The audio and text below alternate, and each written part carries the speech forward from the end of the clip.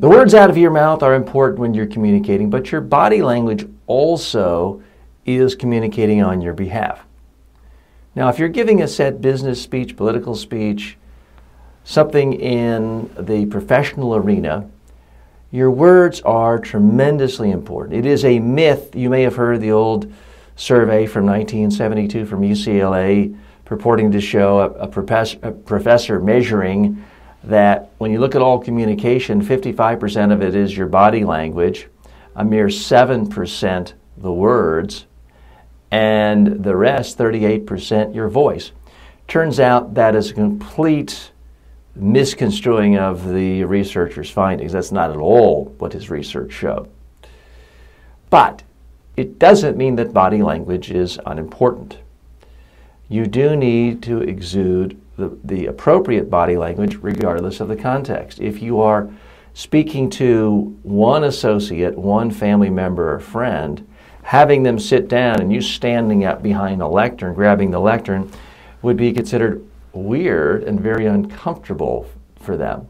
That wouldn't work. You need to be sitting down and relaxed as well. For most people, communicating one on one, family, friends, colleagues, the body language part is easy.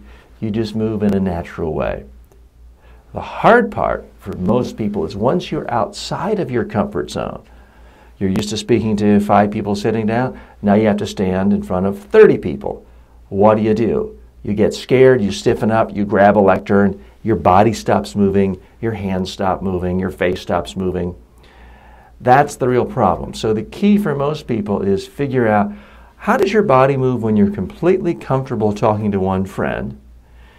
And then do the same thing in any context, whether you're talking to a thousand people, 10,000 people on a stage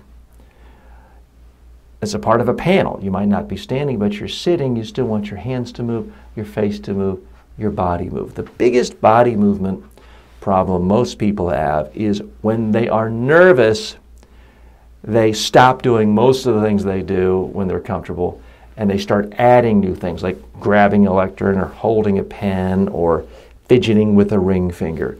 You want to avoid the new fidgety things because you're nervous and you want to continue doing the natural movement you do when you are completely relaxed having a conversation with one friend.